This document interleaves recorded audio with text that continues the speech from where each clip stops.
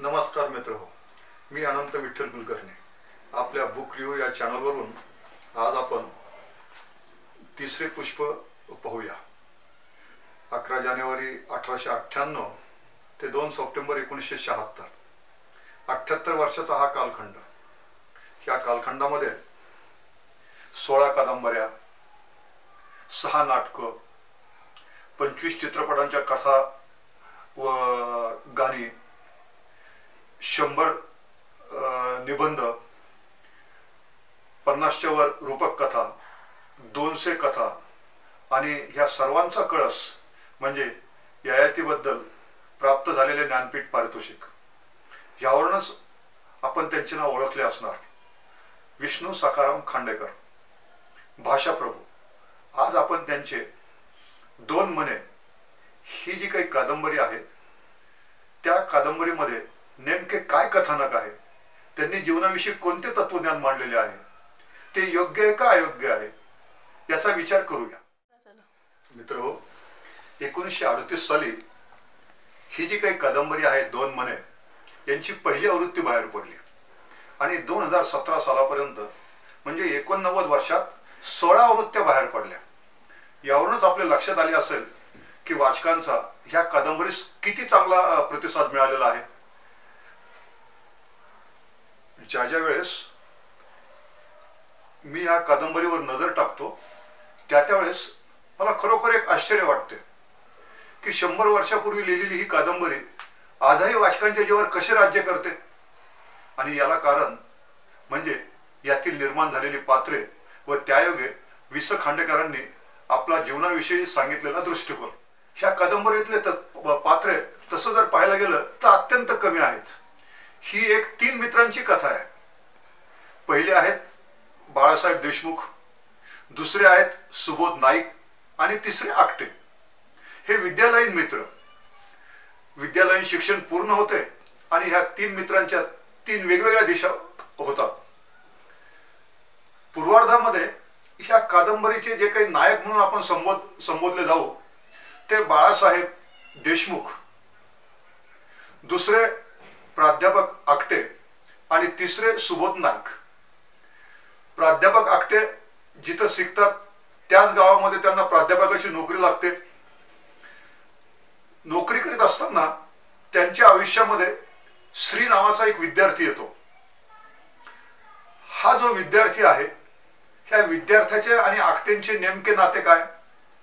हा जो काही श्री आहे हा उत्तरार्धाचा नायक आहे. मग तो नायक का झाला? नायक झाल्यानंतर त्याने नेमकी कोणती अशी भूमिका उठवली?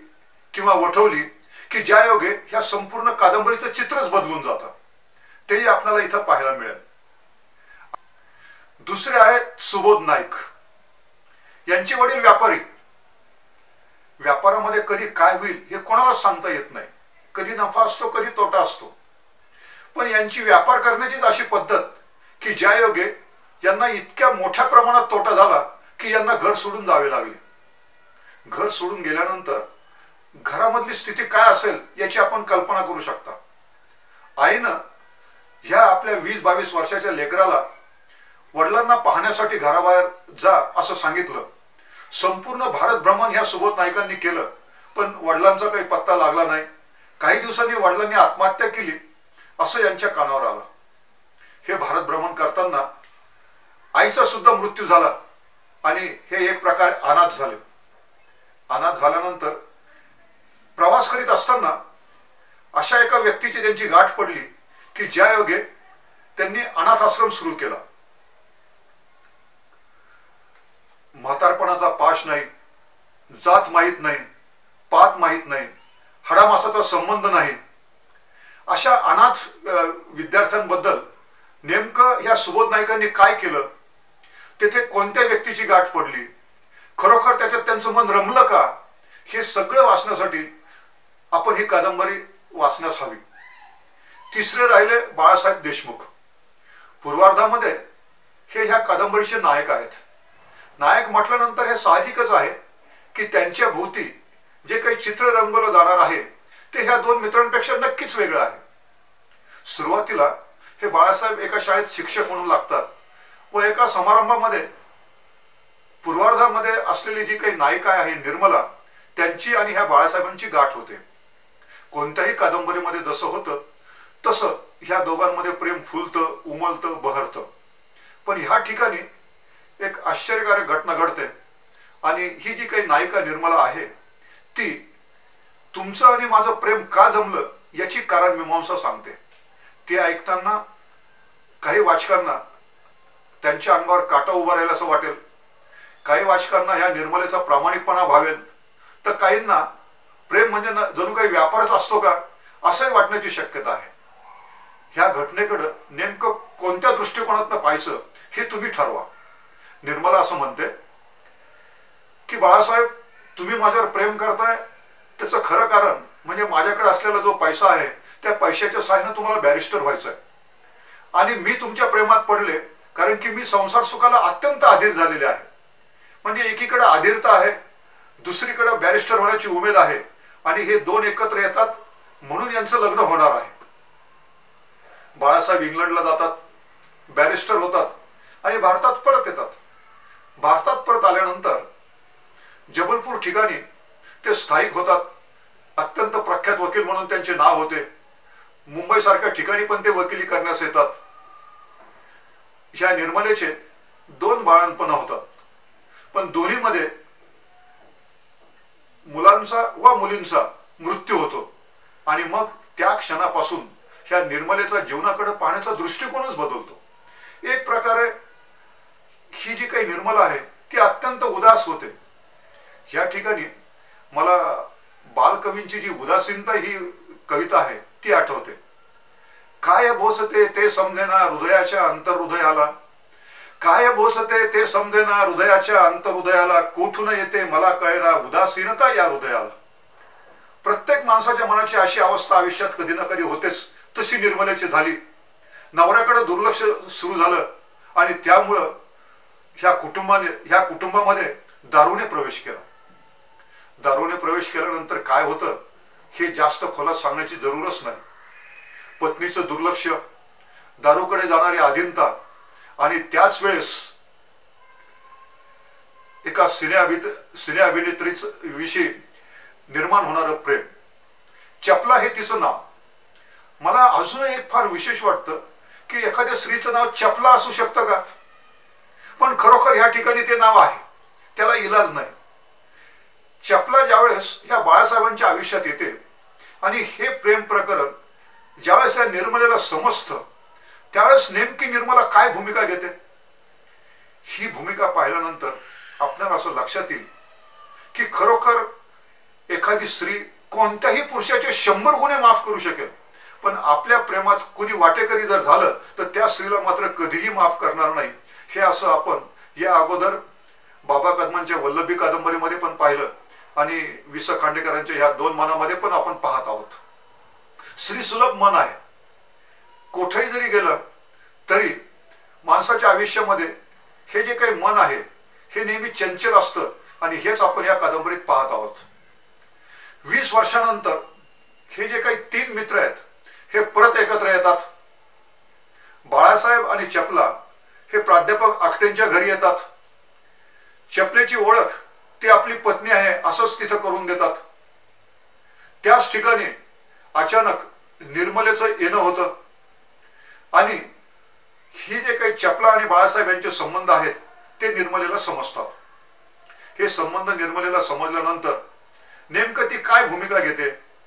सुबोध नाईक तिथं आल्यानंतर सुबोध नायकांबरोबर ही निर्मला परत त्या सुबोध नायकांच्या शिवापूर येथील आश्रमाकडे जाते. आता बाळासाहेबांनी नेमकी काय भूमिका घ्यायची? हा जो काही श्री नावाचा विद्यार्थी आहे याला बाळासाहेबांशी भेटावं वाटतं. बाळासाहेब मनातनं हादरलेले असतात. ते आता पत्नीची क्षमा मागण्यासाठी त्यांना शिवापूरला जायचं असतं. ते शिवापूरला गेल्यानंतर श्री पण तिथे येतो. आता एक क्षण असा येतो की ह्या शिवापूरला किंवा ह्या अनाथ आश्रमामध्ये ही सगळी पात्रे जमा होतात. सगळी पात्रे म्हणजे नेमकी कोणती? हे तीन मित्र. एक बाळासाहेब दुसरे सुबोध नाईक आणि तिसरे प्राध्यापक आकटे बाळासाहेब देशमुखांची पत्नी निर्मला त्यांची प्रेयसी चपला. कादंबरीचा जो उत्तरार्धातील नायक आहे तो श्री. ह्या सुबोध नायकांची जी काही सहकारी आहे माई उर्फ ललिता हे असे सगळेजण जमा झाल्यानंतर ह्या सगळ्या व्यक्तिरेखांमध्ये एकमेकांमध्ये काय नाते आहेत आणि ते कसे निसर्ग उलगडून दाखवतो हे पाहणं म्हणजे खरं ह्या कादंबरीचं यश आहे.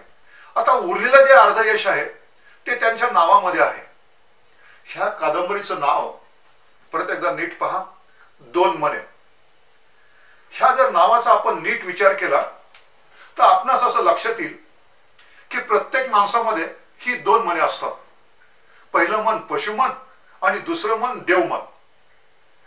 पशुमन म्हणजे नेमकं काय आणि देवमन म्हणजे नेमकं काय? ह्या दोन्ही मनांमध्ये कशी तफावत असते हे विस खांडेकरांनी अत्यंत बुद्धिमत्तेनं आणि अत्यंत काळजाला हात घातला जाईल अशा भाषेनं इथं प्रतिपादित केलेलं आहे. पशुमन हे नेहमी शरीर सुखाकडे धाव घेते. पशुमन हे नेहमी षडरिपूंकडे धाव घेते काम क्रोध मोह लोभ मद आणि मत्सर हे ते षडरिपू आहेत ह्या पशुमनाला शरीर सुखाच्या पलीकडे काहीच दिसत नाही. आणि त्या उलट हे जे काही माझं देवमन आहे ते कर्तव्यामध्ये आनंद मानतो त्यागामध्ये आनंद मानतो. शरीर सुखाच्या पलीकडे जी काही उदात्तता आहे ती ह्या देवमनाला भावते. देवमन आणि हे माझं पशुमन ह्या नेहमीमध्ये झगडा चालू असतो संघर्ष चालू असतो द्वंद्व चालू असतं. तसं जर पाहायला गेलं तर ह्या माझ्या पशुमनाला जन्मता शरीराचे सामर्थ्य लाभलेलं आहे. आणि हे जे काही माझं देवमन आहे हे जन्मताच माझं दुबळ आहे. म्हणजे ह्या दोन्ही मधला जो काही संघर्ष आहे दोन्ही मधला जो काही झगडा आहे दोन्ही मधलं हे जे काही द्वंद्व आहे हे नैसर्गिक आहे. याच्याबद्दल वादच नाही. पण कोणत्या मनाकडे तुम्ही धाव घेता याच्यावरनं तुमचं आयुष्य ठरलं जातं. नीट लक्षात घ्या. ज्या व्यक्ती पशुमनाचा आसरा घेतात ज्या व्यक्ती पशुमनाकडे जास्त धावतात त्या ह्या षडरिपूंच्या नादी लागतात. मग नातेवाईकांपासून अलिप्त होतात. मग मोहाच्या फंदात पडतात. मग इतरांपासून दूर जातात. निराशेच्या गर्तेत सापडतात आणि अपयशाचे धनी होतात.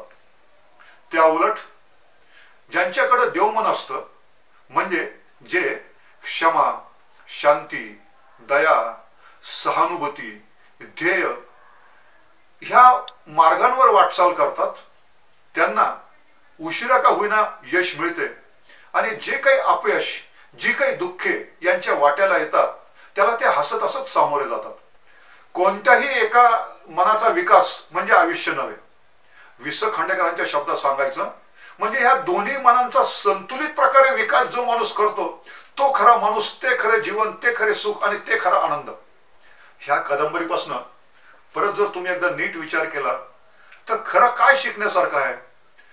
शंभर वर्ष झाले तरी ही कादंबरी वाचकांच्या मनाचा का ठाव घेते असं जर मला विचारलं गेलं तर मी परत परत असं सांगेन की गुण आणि अवगुण याच्यात नेमका काय फरक असतो? माणसाने शरीर सुखाच्या पाठीमागे लागायला नको हे किती जरी सत्य असलं तरी माणूस शरीर सुखाला टाळू शकत नाही. अहो मोह टाळलाच पाहिजे हे सगळं जग सांगतं. पण जो टाळला जाईल तो मोह कसला? मग त्याला मोहच मानता येणार नाही. म्हणजे याचा अर्थ असा झाला की प्रत्येक जण ह्या मोहाच्या आहारी जातच. तो जायलाच पाहिजे त्याच्याशिवाय तो माणूस असूच शकत नाही. पण हा मोह टाळल्यानंतर किंवा ह्या मोहाच्या आहारी गेल्यानंतर सुद्धा काही काही माणसांची प्रगती होऊ शकते. काही काही माणसांची अधोगती होऊ शकते. ह्या मोहाला तुम्ही कशा प्रकारे सामोरे जाता त्याला कशा प्रकारे वळण लावता बुद्धिमत्ता तिथं तुम्ही कशी वापरता भावना तुमच्या कशा वापरतात? आणि तुम्हाला नशीब तुमचं कसं साथ देतं? ह्या सगळ्यांची गोळाबेरीज म्हणजे ही जी काही विस खांडेकरांची कादंबरी आहे दोन मने हे आहे असं जर मी म्हटलं तर अतिशयोक्ती होऊ नये. मित्र हो जर तुम्हाला माझा हा पुस्तक परिचय खरोखर आवडला असेल तर लाईक करा शेअर करा आणि सबस्क्राईब करा. आजची परिस्थिती फार वेगळी आहे. सगळेजण करोनाने भीतीग्रस्त झालेले आहेत. घाबरायचं काहीच कारण नाही. ही पण वेळ जाणारच आहे. ही थांबणार नाही हे नक्की आहे. मग अशा वेळेस आपलं मन उगच कुठं भरकटण्यापेक्षा त्या पशुमनाच्या आहारी जाण्यापेक्षा आपण देवमनाच्या आहारी जाऊया. आपल्या सुदैवानं ही जी काही कादंबरी आहे ई बुक स्वरूपात किंडलवर पण उपलब्ध आहे. तिथे तुम्ही त्याचे वाचन करू शकता. आणि मला खात्री आहे की एकदा ह्या कादंबरीचे वाचन झाल्यानंतर आपल्या मनातील जे काही पशुमन आहे हे हळूहळू कमी व्हायला सुरुवात होईल. आणि आपण देवमनाकडे ध्या देवमनाकडे धाव घ्या धन्यवाद.